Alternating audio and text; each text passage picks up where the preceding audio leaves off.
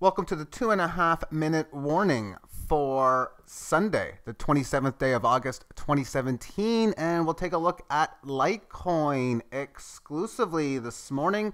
So without further ado, let's get started. This is the dollar chart, which is showing a pattern of breaking past this uh, key resistance area field roughly in where it is now at around 58 and change, leaving this 18 average, which so far is up 13% for the day.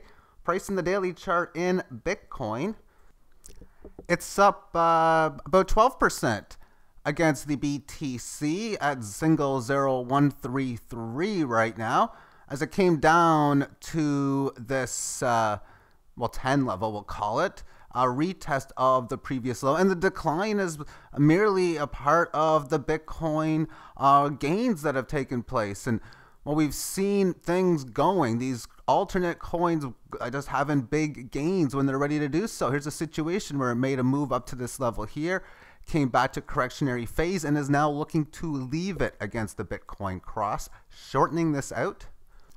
This is the three hour, and we can see consistent higher lows.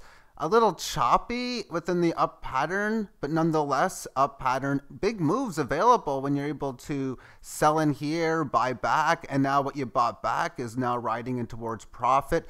Making a, another move next, we could look towards up towards this 150 handle. If there's any support short term, I'd be looking for this congestion area in here matching with this level of resistance and of course this 18 average band. Let's take a look at this on the weekly chart.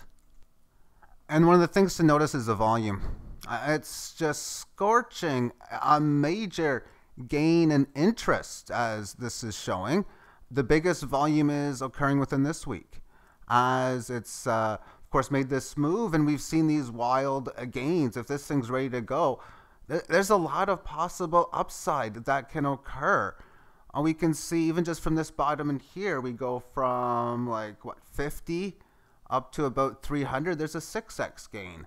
And then of course this one seems to be about the same, just the large gains that can take place. And of course, I would be thinking no differently here if that occurs, but definitely a wild, volatile roller coaster ride seems to be the, uh, the play in order. Take care.